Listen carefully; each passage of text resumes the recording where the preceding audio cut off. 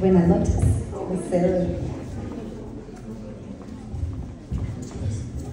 Muy buenas noches. Eh, de verdad que es un privilegio para nosotros eh, estar en esta noche tan especial. Eh, cuando Miss Fabiola nos hizo el llamado de poder dar unas palabras esta noche, se alegró realmente a nuestro corazón porque damos gracias a Dios primeramente por tener este colegio que es de mucha bendición para nuestras vidas, tanto eh, como familia, hablo como familia, pero yo sé que para cada uno de ustedes como padres también es una bendición este colegio. Creo que lo vemos reflejado en cada una de las palabras de nuestros hijos. Y pronunciar solamente el nombre de Dios y honrarlo a Él en público, creo que eso habla mucho de lo que ustedes como padres han sembrado en ellos y lo que el colegio también ha hecho. Eh, como maestros en la vida de ellos. Ha marcado sus vidas y creemos que el Señor, Dios, va a seguir guiando sus pasos. Y queremos eh, alentarlos, chicos, bendecir sus vidas esta noche. De verdad estamos, creo que cada uno como, como padres, estamos sorprendidos de verlos hechos hombres y mujeres, hechos y derechos aquí parados frente al público, hablando con tal eh, eh, no sé, toda su autoridad y todo lo que ustedes saben, eh, de verdad que nos llenan de orgullo.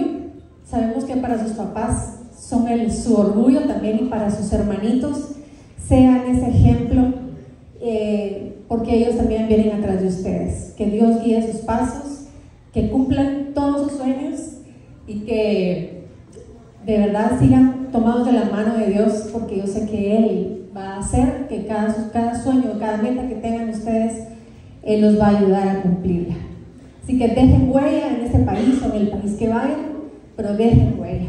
Que Dios los bendiga. Es, un privilegio de verdad poder compartir con ustedes de manera personal. Hemos estado en noticias, de manera profesional en mi caso, eh, hemos estado también en gobierno, Imagínense un, alguien de noticias, periodista, que después pasa al gobierno. Es como que no muy, ¿verdad? Porque a uno le gusta tirar los limonazos, pero no recibirlos. Pero fue muy interesante en esa época. Y hoy me vengo a encontrar aquí a alguien que, pues, estuvimos juntos en el gobierno. Eh, alguien que ahora su hijo resulta ser amigo de mi hija y están estudiando juntos. Y digo yo, en aquel tiempo nos pusimos a platicar un poquito con Alfredo y decíamos, yo no tuve las oportunidades que hoy mis hijos tienen.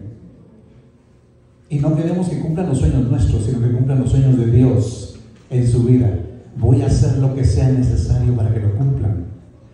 Y me gustó mucho que lo dijeras, Alfredo, y no sabía, la verdad que no, recordábamos bien qué tan largo, qué tan corto iba a ser este momento, pero la palabra de Dios dice que los hijos son como flechas en la aljaba del valiente.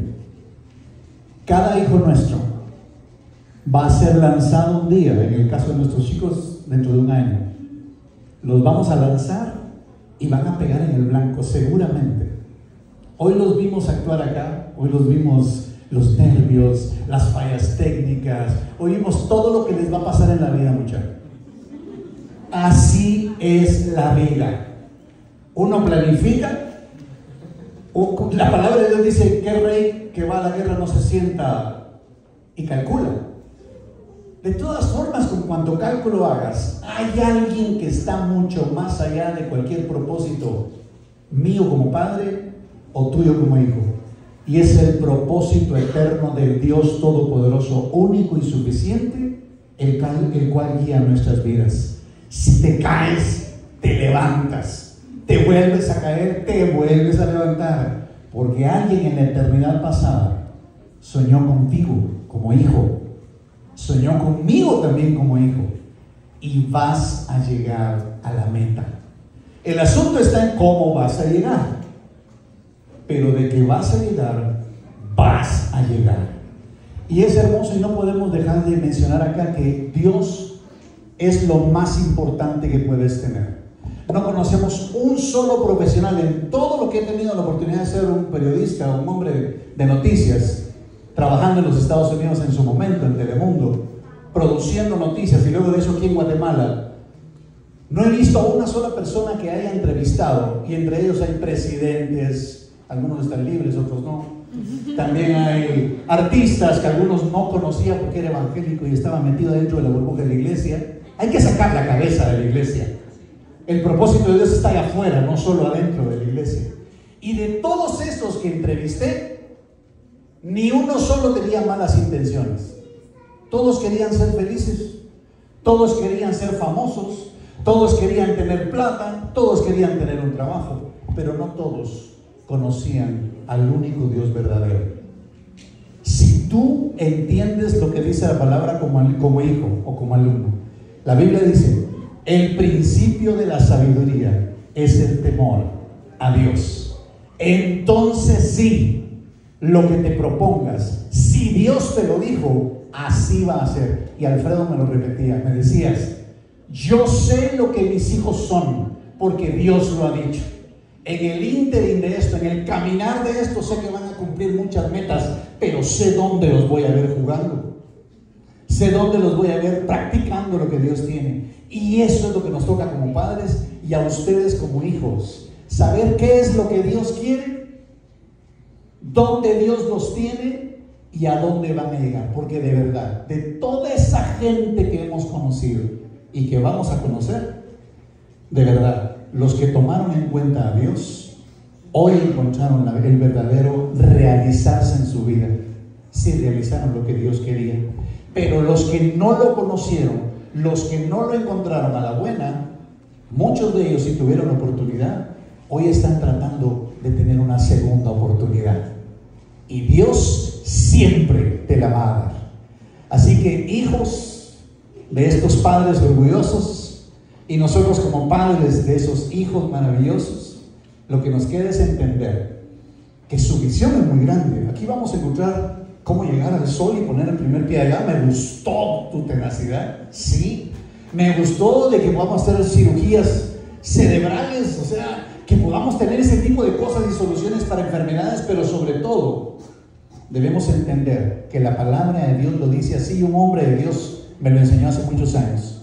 Dime de qué tamaño es tu visión y yo te diré de qué tamaño es tu Dios. El cielo no es el límite, más allá todavía, porque ahí está Dios. Que Dios nos bendiga y que se cumpla el propósito de Dios en sus días. Muchísimas gracias, familia, gracias.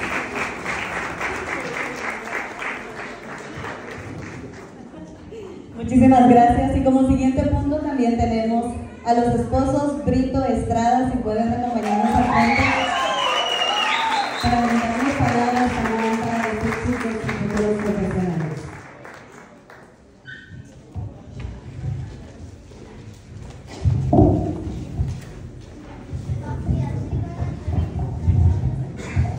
Buenas noches a todos. Gracias, Emilio. Hago propio el vocativo para no perder el protocolo. Eh, gracias por tus palabras. Eh, gracias a cada uno de los padres que hoy están acá. Para mí, de verdad, es un privilegio muy grande que me hayan tomado en cuenta para brindar unas breves palabras que me costará ser breve, pero lo haré, porque creo que todos tenemos hambre. Pero eh, sin duda, ver a cada uno de ustedes acá y ver a nuestros hijos, a nuestros hermanos, a nuestros amigos, eh, exponiendo cada, de, cada uno de los sueños, nos hace pensar en que todos un día tuvimos un sueño.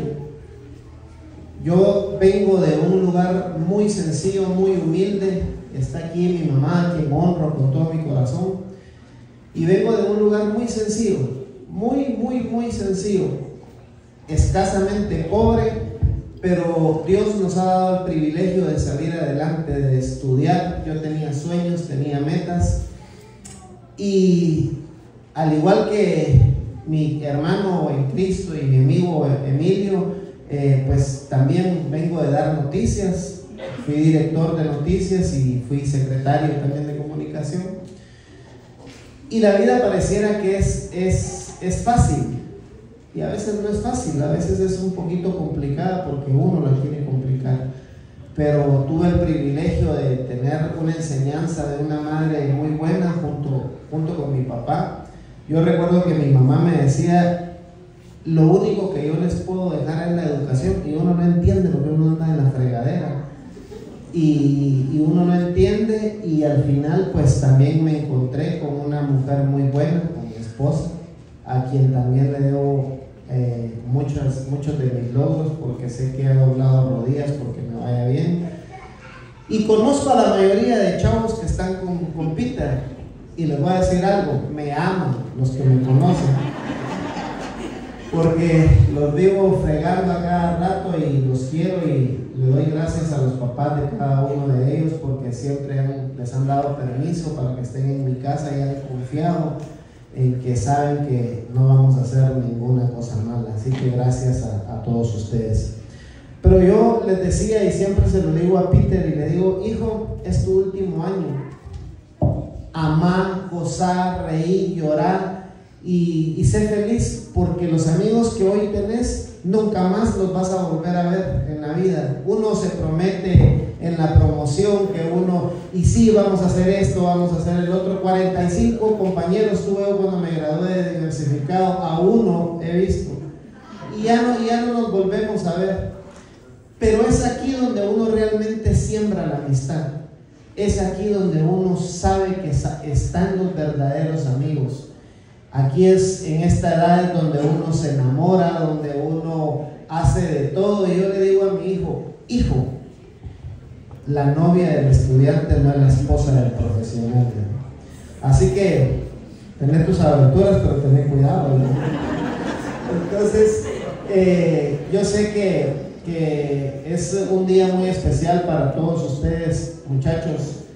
A cada uno de verdad les conozco el nombre de los varones y escasamente creo que solo uno no ha estado en la casa, de ahí todos han estado y, créanme, se la gozan. Así que yo con todo mi corazón les deseo que, que realicen sus sueños, que sean felices, que le hagan caso a los papás cuando los papás dicen que quieren un mejor futuro para ustedes, de verdad. Vuelvo a repetir, yo vengo de un lugar muy sencillo, muy humilde, mi mamá no me dejará mentir. Dios me ha dado la oportunidad de estar con presidentes del mundo, me ha dado la oportunidad de viajar por muchos lugares. Y cada vez tuve una oportunidad cuando estuve en Casa Blanca y estuve con el presidente Donald Trump, me senté, me puse a llorar y dije, has visto hombre solícito, no estará con los de baja condición. Y no importa la condición económica en la que estemos, Dios siempre, siempre, siempre está con uno. Y donde hay visión, muchachos, recuerden esto, donde hay visión, Dios siempre pondrá provisión. Gracias por este privilegio de poder compartir con ustedes y a ustedes por soportarme. Y gracias, Emilio, por tus palabras. Te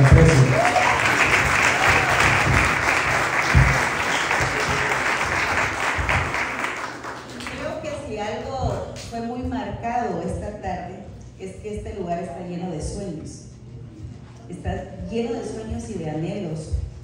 Cada vez que escuchaba a cada uno que pasaba, me sorprendía de sus sueños. Me sorprendí de la forma como hablaban algunos.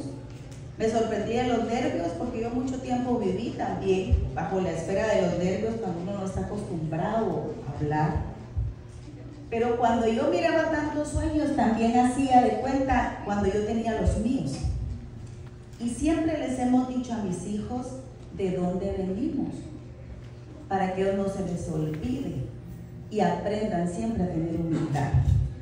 Porque aquí vimos una cantidad de sueños que a mí me sorprenden y de verdad me alegran el alma.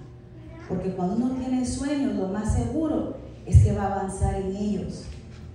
Pero miraba a algunos y yo le decía a mi esposo, mira, tan pocos que quieren estudiar en la Universidad San Carlos. Yo me gradué de la tricentenaria Universidad de San Carlos.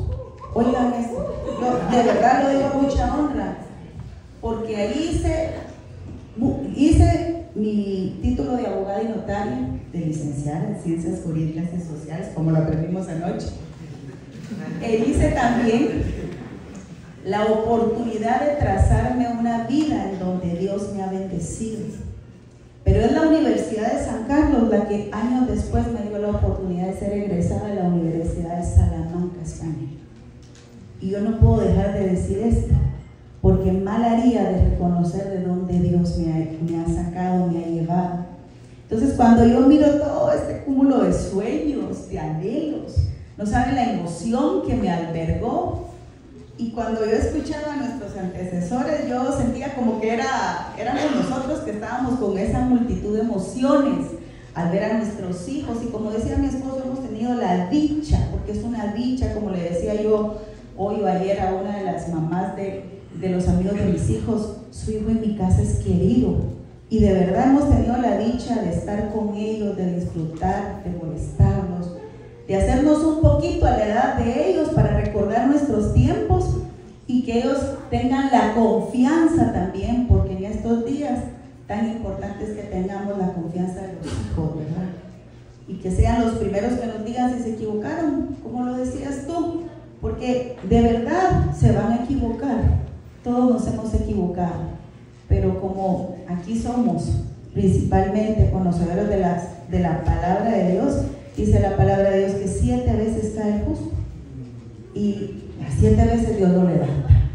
Entonces nosotros no podemos dejar de advertir que nuestros hijos en algún momento pueden tropezar y caer, pero Dios nos dé la sabiduría, el amor, la paciencia. Como muchos alumnos, y me gustó tanto, muchos alumnos le agradecieron a los maestros. Y yo recuerdo tanto un día que mi hijo llegó hace muchos años y me dijo, mami, un maestro me trata mal. ¿Te trata mal, hijo? Sí. ¿Por qué no me trata así? Y empezó a expresar. ¿Puedes cobrar en el colegio? No, le dije, no voy a hablar. ¿Por qué, mami? Porque tienes que aprender en la vida a que así te puedan tratar algunos bien y algunos mal. Tu condición es la que tiene que estar preparada para que en la vida tú puedas venir y responder aunque no te traten bien. Y qué bueno Qué bueno que esté colegio con principios cristianos y yo lo recomiendo siempre, porque yo creo que mi esposo no me va a dejar mentir, que cuando tomé la iniciativa y le propuse a él que se vinieran nuestros hijos para acá, pues fue de las mejores decisiones que hemos tomado. Y agradezco a Dios por la oportunidad, agradezco por los maestros. Siempre he ido abrazando a ciertos maestros que son una bendición, Miss Leonor, la, la amo, la amo de verdad y al profe Reina, no, de verdad no, saben la alegría y lo que me embarga de agradecimiento, que aunque nuestros hijos en algunos momentos dirán que son estrictos, pero para la vida les va a servir también. Y hay otra dos cosas me llamaron la atención. Uno, los sueños, los grandes sueños. Me impresionaste por tu sueño de ir al espacio. Porque sabes, yo cuando no tenía nada soñaba de tener mucho y Dios ha ido superando mis expectativas, me ha ido dando más y más de lo que yo soñé en algún momento. De repente nos ha encontrado confiables y por eso nos ha permitido irnos dando más. Pero me impresionaste cuando hablaste de eso, me impresionaste tú cuando hablaste de relaciones exteriores y, y digo, mi esposo ya debería ser comunicadora, tiene una facilidad de expresión, de dicción y tiene una manera de poderse comunicar tan impresionante. Pero me encantaron los de este lado, aún los que se pusieron muy nerviosos. Pero saben que la segunda cosa que me llamó la atención es la influencia de nosotras como mamás. Si ustedes se percataron como se percataron ustedes, nosotras como mamás ejercemos mucha influencia.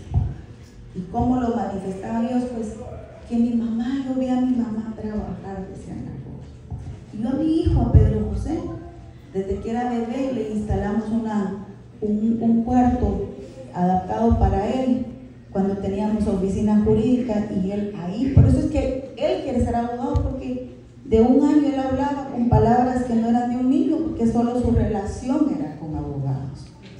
Pero me impresionó la influencia de nosotros como mamás en la vida de nuestros hijos, tanto en mujeres como en hombres.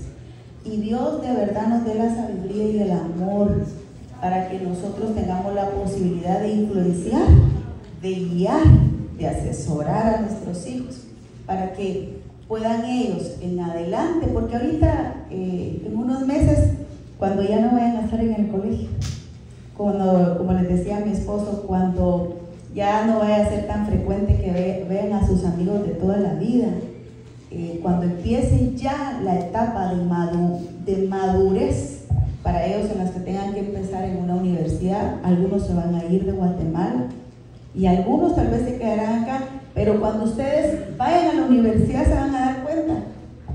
Al docente no le va a interesar si hace o no hace su tarea, simplemente un cero al final y uno dice, pero ni siquiera me avisó que no iba haciéndolo bien. No, la universidad es otro rollo.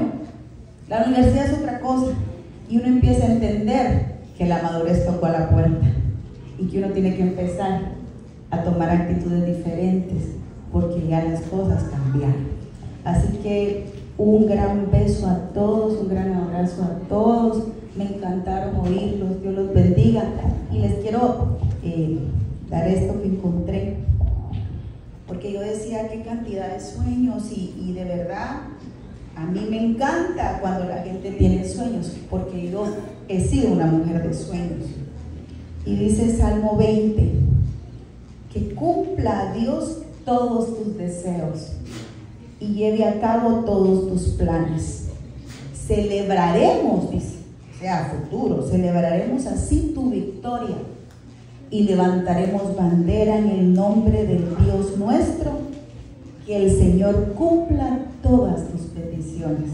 Y ese es nuestro deseo como familia, que el Señor cumpla los deseos, las peticiones, los anhelos de nuestros hijos y como tú decías que me encantó, que van a llegar, van a llegar.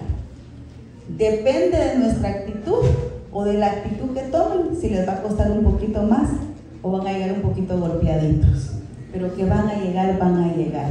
Creo que hemos hecho un buen trabajo. Nuestros hijos no son perfectos, pero son buenos hijos. Así que muchas gracias, gracias por el privilegio, gracias por la oportunidad. Que Dios los bendiga y vamos a comer, por favor. Muchísimas gracias por esas palabras.